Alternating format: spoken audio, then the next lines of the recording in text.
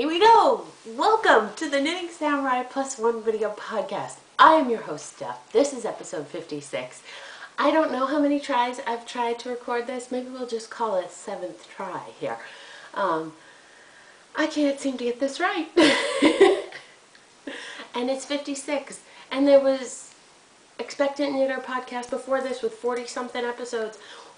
I've done this a few times. Recording an intro is not a hard thing to do. Whew! this past week was my cousin's graduation.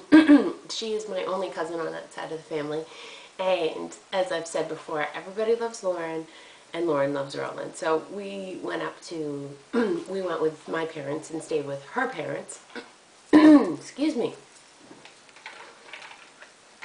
For about five days. Not about, for five days.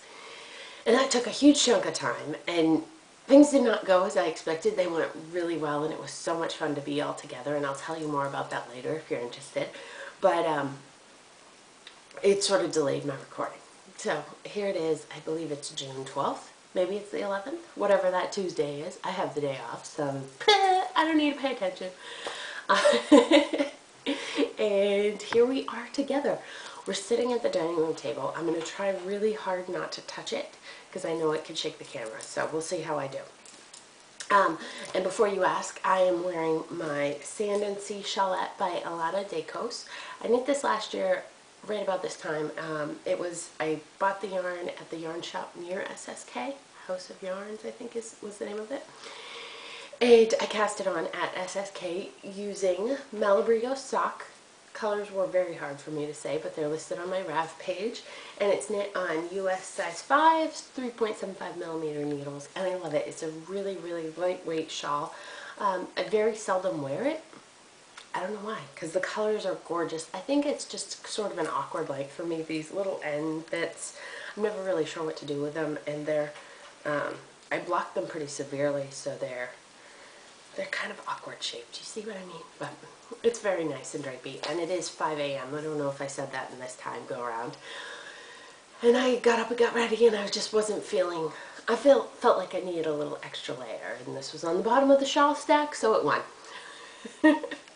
so let's jump into what's currently on my needles. I know last week I showed you lots of FOs and you guys just you're awesome. Thank you for all your encouragement. You made me want to like, oh, knit as fast as I can and show lots of finished objects and it was fun. So thank you. Thank you for that. Um, first up, let's start with the Michaelmas mitts, which are by Cecily Glowik MacDonald. I showed them to you last week. Here they are in the Best of Knitscene book. Um, really great. I believe it's a worsted weight that the, the, the recommended yarn Yep, a worsted weight yarn, knit on US size 6, and mine was knit with alpaca Plymouth, no, Plymouth Baby Alpaca DK, and it just wasn't the right fit. The yarn was really drapey. If you remember, last week I showed it to you, and I had knit 3 inches and ripped back and knit another 3 inches, and it just, there were too many holes. I made a mistake in the ribbing portion of it, like, so I fried it. So those are gone. Don't look for those no fault of the pattern, totally fault of me. I will probably attempt them again using a heavier weight yarn, definitely a worsted weight, because the um, Plymouth Baby Alpaca wanted to be knit on a four for me anyways, probably a three or a four, even though the ball band said a six. I am a pretty loose knitter. So, that brought me to my next book, looking for um, fingerless mitts in it. And this one is Knitting 24-7 by Véronik Avery, and in that I found the 1965 Arm, Arm Warmers, also by Véronik Avery. is this all the whole book by her, or is it a collection? I'm not sure, but this pattern happens to be by her. So there you go. Hopefully I'm not giving too much away. That's how they look. Really, really pretty. I selected, what made me want to do this? Um, I got my club shipment of Into the Whirled. And as you know, it's a Game of Thrones theme. So here's the first one that we received, which is Sansa. Very pretty. And here's the second one that um, I just recently received. and that's called Godswood. It's a very north themed club I'm seeing here. And when I opened the package for Godswood, I, this was put aside. I didn't know what it looked like. But I thought that it looked exactly the same, or very similar to Sansa. And um, it motivated me to want to knit some of my Into the Whirled club yarn. Because I've been in the club for, oh, close to a year, if not a year. Yeah, I've been in the club for a while. Love all the colors. I've only knit with one of them and that was a single fingerless mitt. Like I didn't even knit a pair of socks or something or a shawl. So I saw this, but I didn't have time before we left to go to graduation to ball it up and research. But it made me want to knit with some of my hand-dyed yarn. So, thinking about those fingerless mitts, I went and pulled out some three Irish girls that I have in the sport weight base, which is, that pattern calls for sport weight yarn. So this is the Giving Tree in the Kells Sport uh, it's this glorious green and brown yarn. Okay, so it's like an emerald green and a brown. And the part that I absolutely love about this yarn is there are points in it where it's a like a um, an autumn amber color where the two meet, and then there are points where they just meet, and that's it. That yellowy overlap is glorious. Okay, I don't know why to tell you that, but I have to because I, I think it's very important about this yarn. So I chose this yarn, which is really, if you think about it, yarn is normally div, uh, dyed in in a big um, loop, in a big circle. And so theoretically, I don't know how she did it, but I'm thinking that she put green on one side and brown on the other side, or she alternated green and brown sections, some sort of way. Well, for classy mitts like this, classy, I'm calling them classy. For classy mitts like this, I would really rather not have pooling, striping, or anything of the sort. The solution to that is to not knit with a two-color dyed yarn. To knit with a yarn that's either semi-solid or solid, or a yarn that is, here, let me take the ball band off this, that has, like if you look at this skein, you can see there are four colors. There's the gray, the teal, the purple, and then the um, rose color. So and if I open it, yeah. So you can see that this one would also more than likely pull because of the way it's dyed, which I'm not going to go into all of that, but you're going to knit the yarn and then you're going to hit a gray section and then you're going to knit the yarn and hit a gray section again, right? So you knit this side, you hit gray, you knit this side, you hit gray. So that would more than likely cause um, some sort of pooling or striping, flashing, whatever, depending on the number of stitches you use, right? Because that controls everything. So you see where I'm going? There's some regret in this project. I, um, the pattern is very fun to knit. There are one, two, three, four different stitch patterns in it. So there are four different sections. To sort of keep your interest, the way it's constructed is um, in the round for portions and then when you're doing the hand, you do go uh, back and forth, you switch to rows. So that's fun. There's lots of fun things about this. And the length of these, look at them. They're gloriously long and it's just a statement piece. What I'm trying to say in my very verbose way is that, and it's funny because I really don't think of myself as verbose, but yeah, I am, um, is that I should not have chosen a two-color yarn for this, right? Because they have so much potential and my yarn choice is just wrong. So I was walking around this morning thinking about, well, what should I have chosen for this? And I'm thinking something more along the lines of this is a cakewalk yarn. And she does more of this flattery looking dye effect. Um, this colorway is Rhinebeck. And that's a brown with pops of like a teal and a gray, all kinds of variation in there, but it's more of a semi-solid color. So that would have been a better choice. Or even, um, well, maybe not now that I'm thinking about the effects of, I, I know that um, Socks That Rock is dyed in a very similar manner. At least when I look at the way the skeins are laid out, laid out, I have no idea what these people do for technique. But when I look at the way they're laid out and I look at the way they knit in the round, they're very similar, so that probably would have caused the same flashing pooling. So this might not have been a good choice, maybe more of a tonal here, because the, I'm guessing this mustard color would pop to your eye because it's um, a different tone. Anyways, so that's my thinking on this. So I've knit one of these glorious, I think it's called a gauntlet when it's this long. Um, let's talk more about the actual pattern itself. So this, oh no, there's nothing else to talk, well, I guess there is. So I knit this on US 2's 2.75 millimeter needles, and you can see there's this cool ribbing effect down here. There's some, um, I don't know what you call them, there's a moss stitch section, there's, it goes back to that, and then more moss stitch up here. I was going along gangbusters, had a great time knitting this, and then I got to the thumb section and thought I knew what I was doing and didn't read the pattern. So this portion is not according to pattern. I think her design after I, so I knit the thumb portion and then was looking at how to rejoin it for working on the round and that's when I realized, oh, I, I was supposed to add stitches and do a fancy edging for the thumb opening and I did not do that so it's very messy. I'm going to pick up around the edge and you know do a couple rows just to tighten it up a little bit because that is very far down. Um, I had thought that these would be a test knit. I would knit them for me and then knit a pair in the cream color for uh, Vanessa since I frogged the pair I was knitting for her but not really crazy about that idea. I think I'll be this section right here is not as much fun to knit as you might think. and they're long. And so I'll probably knit this pair for myself or the gift box and then uh, move on and find a different pair for her just because it's been done, you know, and I'm not going to want to knit a second pair right away. I might want to knit another pair in a year from now, but not right now.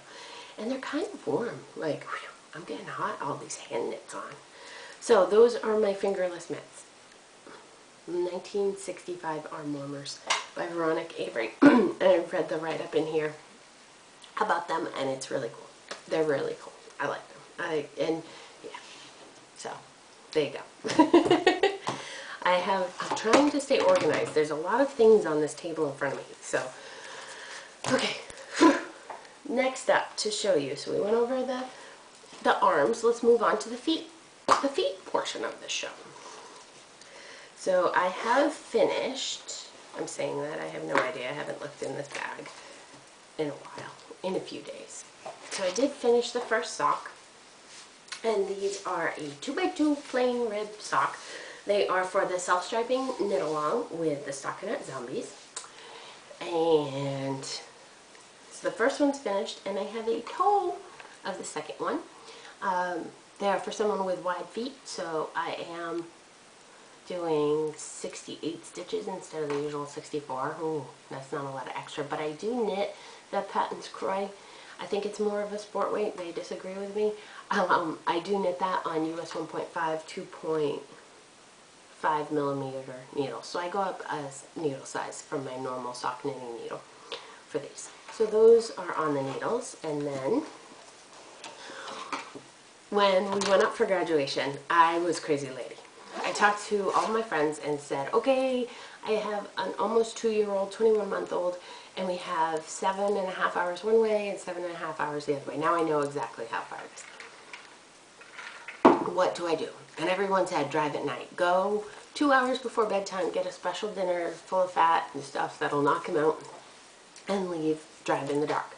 Well, driving at night, driving at night is fine, but arriving late at night was not in the plans. Like, if we could have shifted and left a day earlier, it would have been fine. We would have done that, but it wasn't going to work.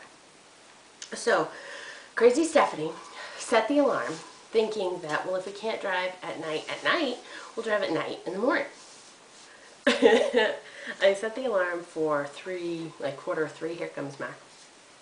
Quarter three in the morning, and we were on the road by 3.15. and did you know they do construction at night? They do construction. And so between here and my parents' house, we hit three different um, spots of night paving or whatnot. I don't know what they're doing.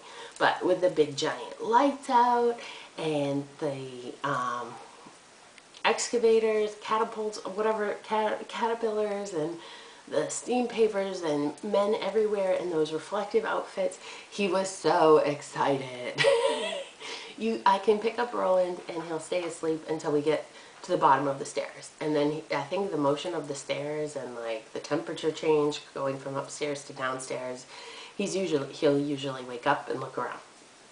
And so he was very quiet except when we went through the construction and then he was screaming. And then he fell asleep with sc happy screaming. I say screaming. He was like, truck, truck, truck. Meanwhile, Steve's in the front seat trying to sleep. Um, but at about 4.30, Roland went back to sleep and he slept until 6. So that was great. And then we drove for longer and he had about an hour in the car where he was not so happy.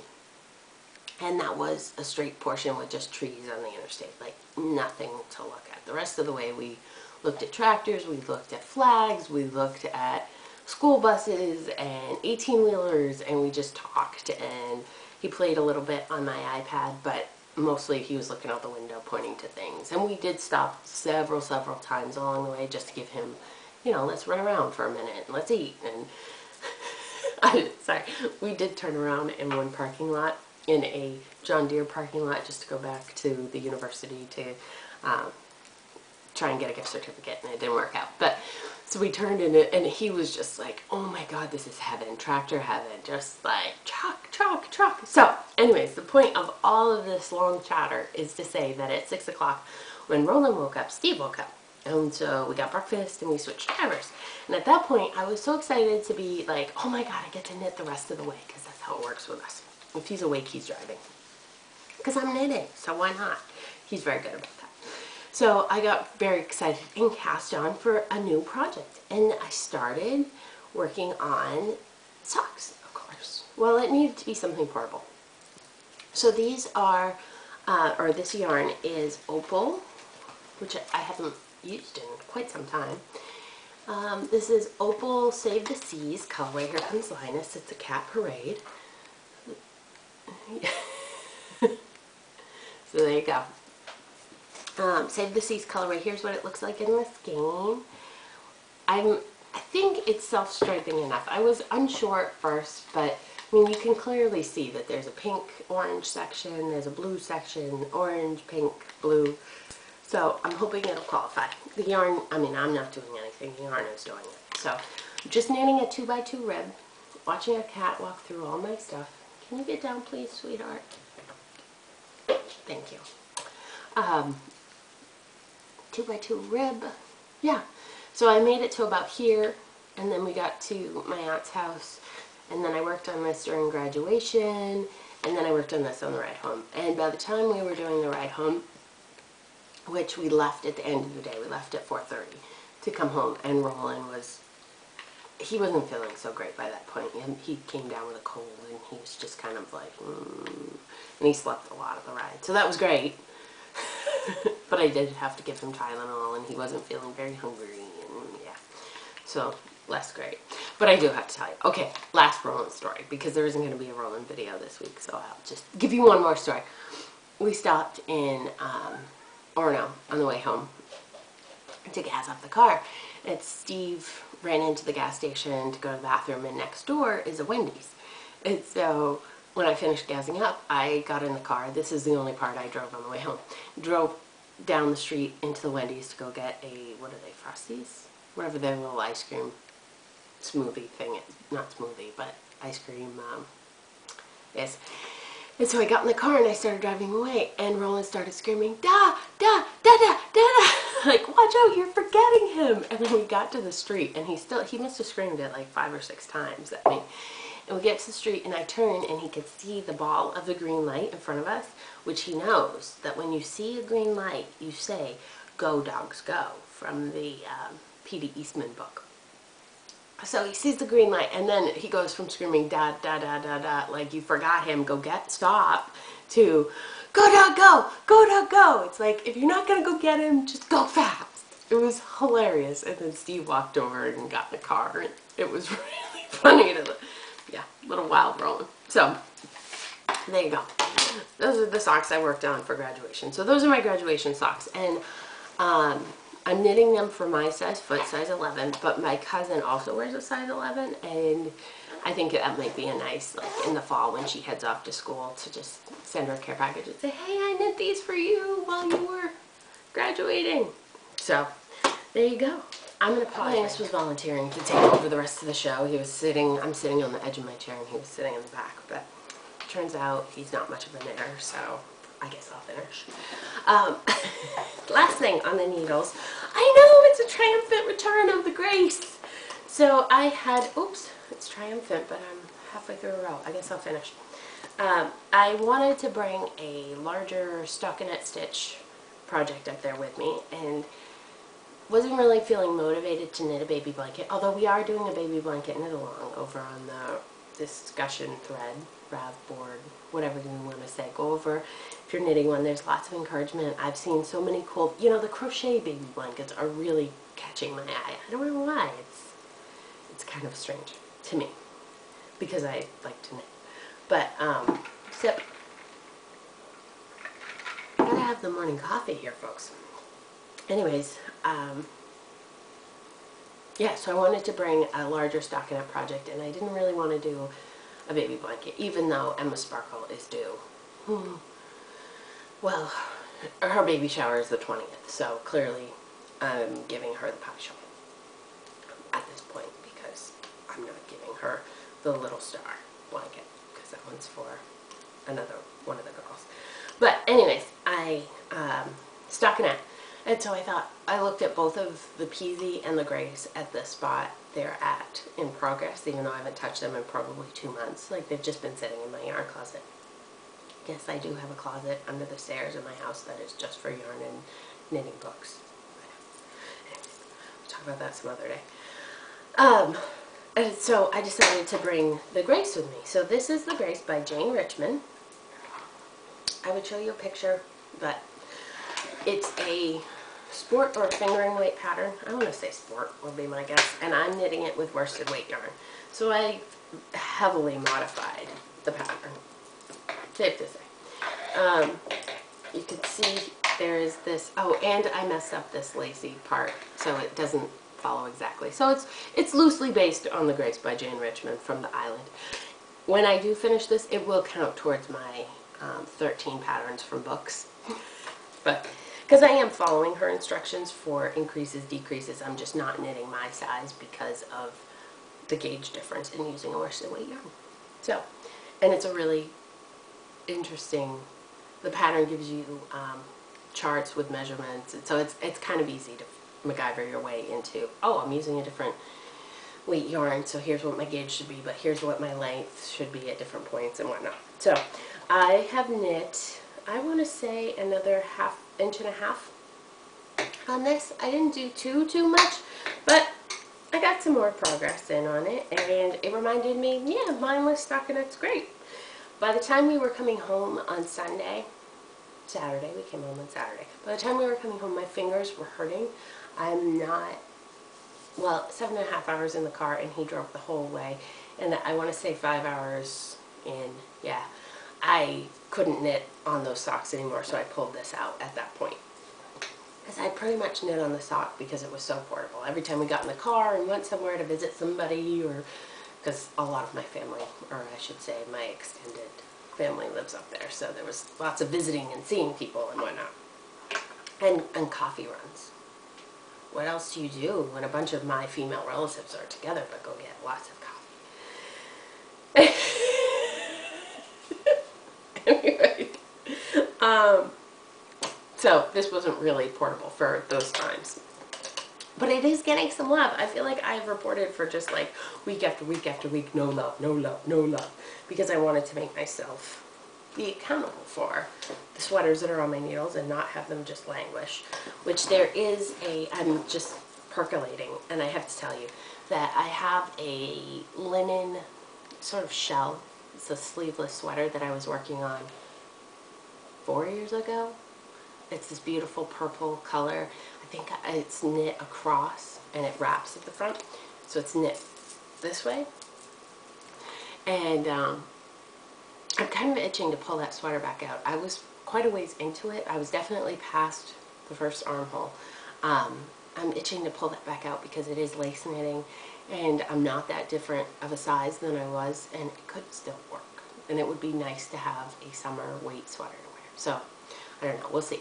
But the Grace is being knit with Tahki Yarns New Tweed. This is a discontinued yarn, but I did want to just show it to you. Um, the colorway is 033. And the Grace is being knit on US size 7's 4.5 millimeter needles. And that's it. The high chair is now empty. I used that as my stool. So we must be at the end of the show. No, we're not. We're not. We're not. I forgot. Okay, so the baby blanket. I have to tell you that I just have to tell you all these things. Um, my friend Jeff at work had the baby. Well, he didn't have the baby. His wife did. But he was born 10 days early, so it was a nice surprise. And it was a he. So this is the, the gray and yellow baby blanket I knit. I just felt like it was going to be a boy. I would never have knit those colors for a girl. But they didn't find out what they were having, and they told everybody they didn't find out, but they painted the walls gray and teal. And I was like, you know what? I think they're going to have a boy. We have four pregnant people. Two of them are having girls. Two of them don't know what they're having. I'm going to guess those two are boys. So, really excited. His name is Bodie Grayson. Isn't that cute? Okay, so just wanted to tell you that. Um, we are doing a baby blanket knit along and there were, so every month until October, post your finished object pictures um, one for each month, and you get a, a, a ticket, a, a spot, I guess, for a prize draw. The May, for the month of May, we had seven finished baby blankets, yes, because I was the first post, so there were eight. Okay, seven finished baby blankets, and yeah, so that's it. So I am going to make sure I have it up. Okay, I'm going to random.org. Going to hit generate 2 through 8 and blanket number 4 came up. So if I flip over to the group, and this is for the first month of May is going to be a Ravelry pattern of your choosing. So just drop me a PM and let me know what you would like. And number four was Avocado Sheep, who is, hold on, please hold on, Avocado Sheep. That is Lainey from Maryland. So Lainey, get in touch with me and tell me what you would like. Um, I'm going to share her, her project here. She did this amazing cabled blanket. So you can see it at the top and then there's a closer view of the cables. So, yay, Lainey! Get in touch with me, Avocado Sheep, and I will gift you a pack. So, um, the month of June is going full swing ahead. There are several in progress blankets. If you know someone or would like to knit yourself a baby blanket, join in, have a good time. There's crochet, knitting, anything goes. Weaving, I don't know, whatever. Whatever you'd like, just, you know, share what you're working on so we can all get inspiration from it. And then, that's it. That was the last thing. Officially, I'm done. I'm out. Have a great 10 days or so until I see you again and enjoy what's going on in your knitting world. Take care.